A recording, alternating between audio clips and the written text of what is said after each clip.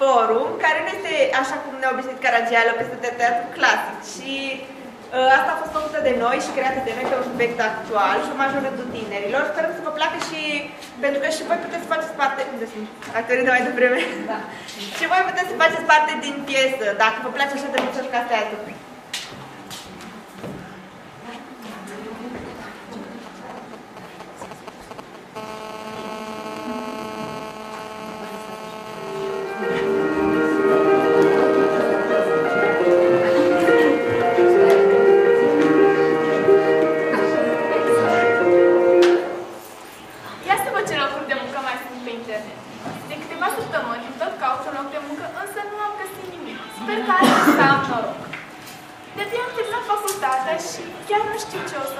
dar știu că vreau să găsesc un loc de muncă.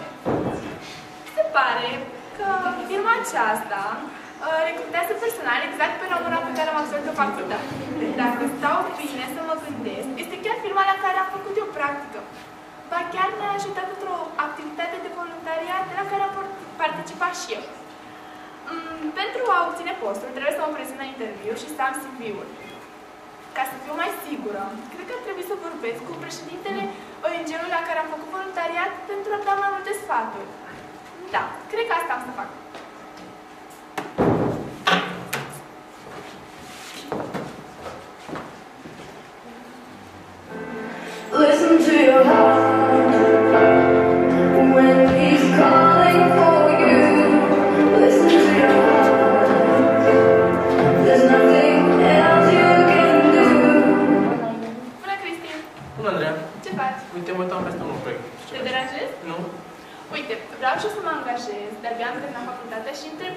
job și am zis să cer sfată. Poți să mă ajut? Desigur. Acesta este CV-ul meu.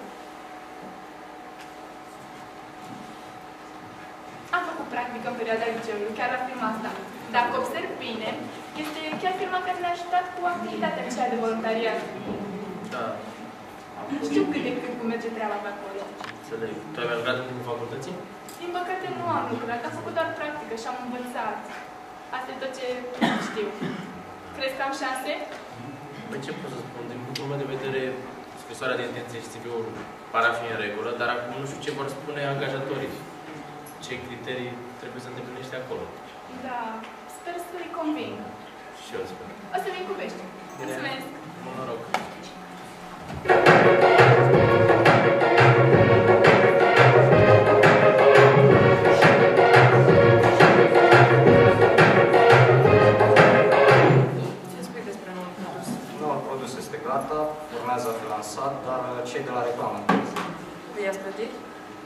respectiv, le-am dat și un prim.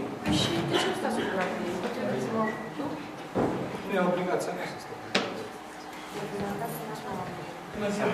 Bună seara! Bună seara! Bună seara! Bună seara! Avem primul candidat pentru interviu. Poftește un nou. Bună ziua! Bună! Andreea Dinu. Deja sunt eu, director general. Pare bine. Bună ziua! Și vă pare George, director general.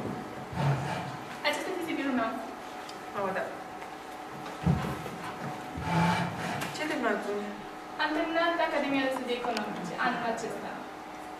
Anul acesta, deci ești în absolvent. Da. Ai lucrat în facultăți, nu? Din păcate nu am lucrat, însă am făcut practică. Chiar dacă la dumneavoastră, nu știu dacă vă amintiți. Mm, nu mi amintesc pentru că trec foarte mult pe aici și oricum e relevant. Una ai să faci practică și alta e să, să lucrezi cu un post. Vă asigur că am învățat chiar foarte mult. Da, și sigur. Tocmai de aceea vreau să obțin, uh, să obțin uh, locul de muncă la final dumneavoastră? Păi, vă zic, uite cum se treaba. O să spun de la început ca să nu pierdem timpul nici eu, nici tu. Ă, firma mea e o firmă cu prestigiu. O firmă care, până acum, a adus oameni calificați, oameni cu areau în spate, ani de experiență. Da. Odată ce te angajezi pe tine, aș ieși oarecum din urmă mea să poți să de fac ce? chestiile astea. Pentru că nu ai absolut deloc experiență. Da, nu am experiență, dar am idei noi. Și poți să bagi și să vă ridicați firma. Nu aștept cu nimic. Eu sunt sigură că și ce, celelalte persoane care așteaptă acum afară să intre au ideile. Da, dar vă rog să-mi dați doar o șansă. O șansă pentru ce? Nu e imposibil, ți-am spus. Nu pot să fac asta pentru că nu, nu ai experiență. Da, dar și, și cei care au experiență nu te ajută absolut de tot. Avem nevoie de o persoană ca să fim străi, care să stea în Aș putea permanență. să învăț în timpul meu liber. Sau să stau în spatele dumneavoastră și să urmăresc Uite, ceea dacă, ce dacă faceți. aș pune pe cineva ca să te Pierdem ajute timp, pierdem bani, și pierdem clienți. ce nu Nu cred că asta că pierdeți timp. Ba da.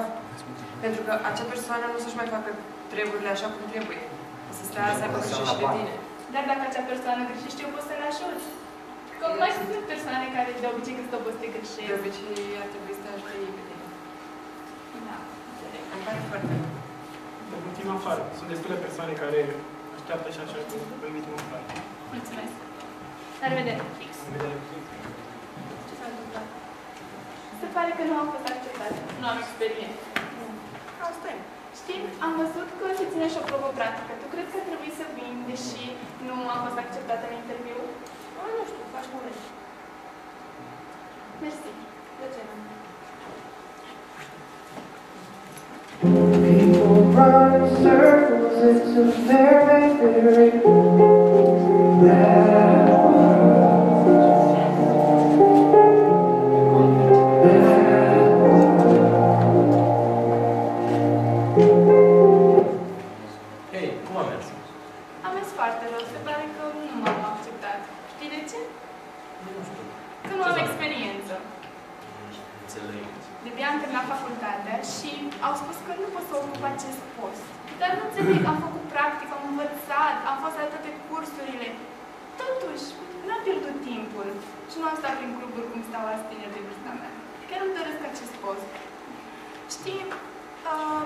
se ține și o probă practică mâine și nu știu dacă să mă duc. Tu ce crezi?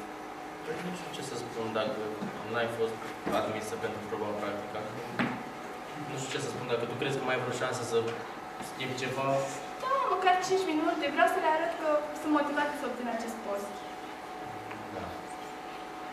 Păi nu știu, dacă tu chiar crezi Chiar că vreau mai poți asta. schimba ceva, du-te dacă nu. 太。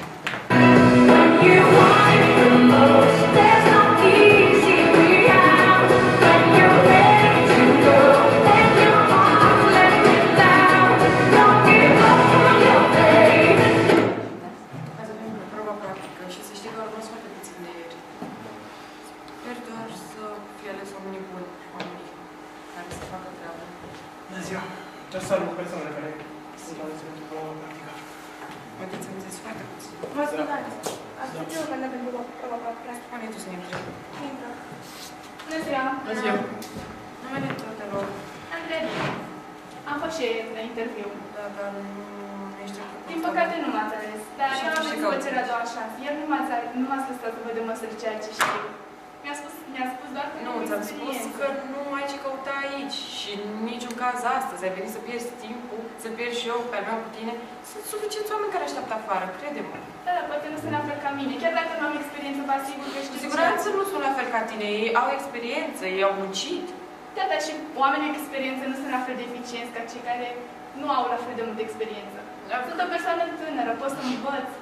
Da, o persoană tânără care după ce o învăț eu la firma mea, poate să plece și să îmi părăsească firma pentru că sunt atâtea firme, alte Dar firme dacă mai merge puțin în viața bine muncii. la firma dumneavoastră, nu cred că este cazul să plec. Nici măcar nu ați angajat să... Oricum, în niciun caz nu să te angajezi, ți-am spus de ieri. Nu ai experiență, nu ai ce căuta aici. M-am implicat în foarte multe activități de voluntariat. Am participat la foarte Și multe ce faci concursuri cu și cursuri. activitățile de voluntar, voluntariat? Lasă-mă în pace.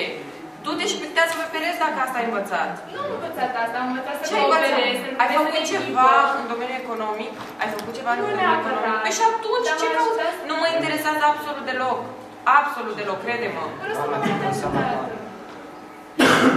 De ce nu mă mi-a acordat și nici Nu să-ți Sunt și acord alți oameni deloc, care pentru că sunt oameni care așteaptă dacă toți cei pe care am respins ieri ar fi venit astăzi și ar fi făcut la fel ca tine, ce ar fi fost aici? Doamne, că nu sunt la fel de motivat să obțin acest post. Nu am înțeles de la început că nu au ce căuta în firma mea. La fel ca tine. Te rog frumos să ieși afară că Timpul este foarte mult. Întâmplăm că poftiți afară. Acum ce aș putea să fac? Nu mi-au acordat nici măcar o șansă. De ce? Pentru că nu am experiență. Dar cum aș putea să obțin această experiență dacă nimeni nu mă angajează? Ce pot să fac în viitor?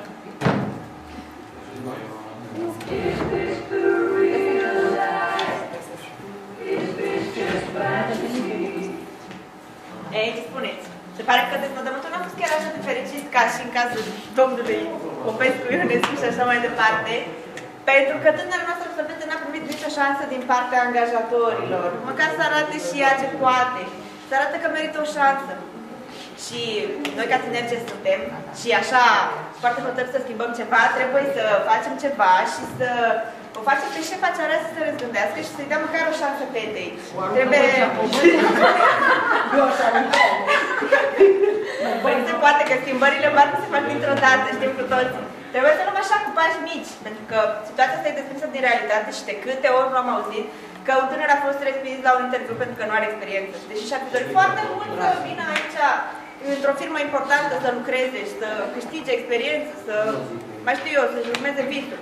Dar, din păcate, nu a putut pentru că oameni ca ea, șefii care au idei așa mai vechite, nu le dau nicio șansă tinerilor pentru că nu au experiență. Și atunci, noi ce să facem? Teatrul Forum ne dă șansa să schimbăm ceva și să devenim actori în piesa pe care chiar noi o creăm, să, să venim cu ideile noastre și să schimbăm situația inițială, adică să ajutăm pe tânără să primească măcar șansa unei probe practice sau, nu știu, orice ne-ar veni prin minte. Și cum putem să facem asta? Păi putem să facem intrând acolo și în locul personajelor noastre. Ca să putem să le schimbăm punctul de a gândi și a acționa, trebuie să îi cunoaștem mai întâi. Să începem cu tânăra absolventă, care din păcate nu este atât de, de dornică să arate că, că știe ce vrea și că poate și că își dorește jobul ăsta.